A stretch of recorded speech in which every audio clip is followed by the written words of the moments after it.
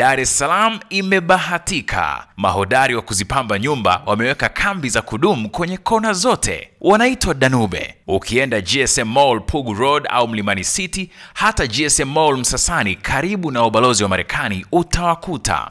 Danube ni sehemu pekee hawachukui pesa yako mpaka uitoe. Wamezipanga bei zao, nenda na yako pia. IOTV imeendelea kutafuta baadhi ya maeneo ambayo Dr. Louis Shika alikuwa akipenda kuyatembelea. Moja eneo ambalo tumefika kulitazama ni eneo la magazeti. Nimezungumza na muuza magazeti, amesema ni kweli Dr. Louis Shika amekuwa akifika eneo hilo na akikaa na baadaye kwenda eneo la internet. Kwa tumefika internet cafe ambapo ni eneo hapa amekuwa akifika akitembelea na kufanya shughuli zake. Tumepata nafasi ya kuzungumza na mmiliki wa stationery hii ambapo ametueleza machache kuhusiana na Dr. Louis Shika. Mi naitwa Abdul Amir Hamadi na stationery yangu hii hapa inaitwa Mawenzi Direct Cafe.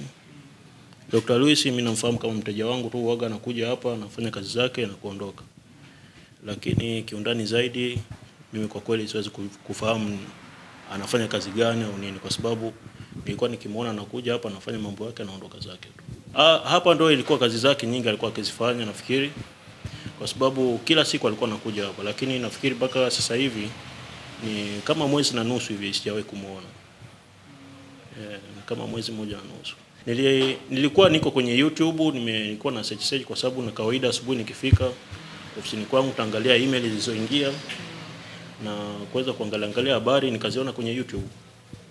Eh, kwamba kwamba ni mteja kwamba niliangalia kwenye YouTube wakazungumza kwamba ni tajiri tajiri mtata. Waliandika kichwa cha habari kwamba tajiri mtata. Sasa ni kwa sababu ni mtu ambaye namfahamu nika nikasema ngoja niangalie habari zake nikazikuta hizo habari. Nili, nilishtuka kidogo kwa sababu nilikuwa sifikirii kwamba ana pesa kiasi hizo zote. Kwa sababu ni mtu nilikuwa namuona kwa kawaida tu anakuja kama watu wengine ofisini kwangu. Sasa tunaingia Tanzania ili kutekeleza policy ya rais wa nchi hii ya industrialization. Tunashughulika na mostly chemical industries, lakini hapa tutabadilisha kulingana na mahitaji ya nchi.